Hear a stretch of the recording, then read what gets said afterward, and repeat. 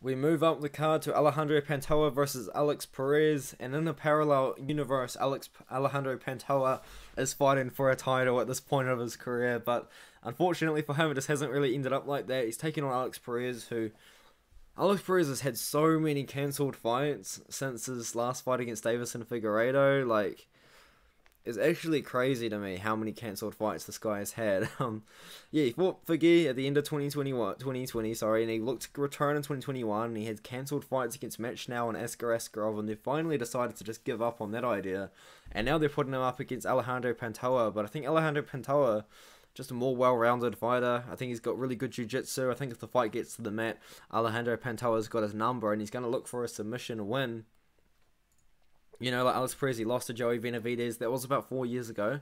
Muay Thai by ground and pound TKO. That was on the ground, and then he got guillotined uh, by Deiveson Figueiredo, who was the champion at the time, I, I believe. Um, I'm a bit of I'm a bit of a wounder at the moment. I'm really tired. I'm overtired from work. I'm sorry, guys, and I'm near the end of the video. I'm gonna push through it and we'll hustle. But um, yeah, I've really got an Alejandro Pantoja by submission on this one. I'm I'm quite confident in him. I really like the minus 160 price tag. I feel like a, a, a, a parlay I'm seeing, or, or a two piece, I guess you would call it, is Ankalaev plus Pantoja. I'm seeing that a lot go around on Instagram right now. A lot of people are parlaying those two together, and I do understand why.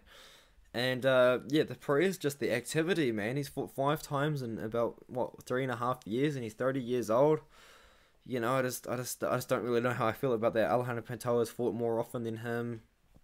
He's fought guys at the top, like he beat Manel Kape. Manel Kape popped for popped uh, not under USADA, but he popped under something. So Manel Kape was probably on PEDs at that time. He beat a roided up uh, Manel Kape. Uh, he beat Brandon Royval recently in a great fight. Um, yeah, I, thought I just think he beats Alex Freeze.